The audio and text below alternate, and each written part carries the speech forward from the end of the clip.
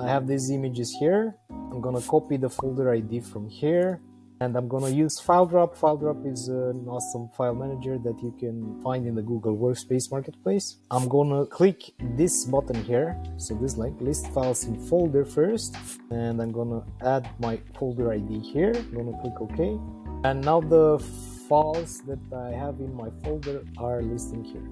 And as you can see, FileDrop already uh, added some headers to these columns so I have the current file name, which is on the left here. And here on the B column, I'm gonna name my new files.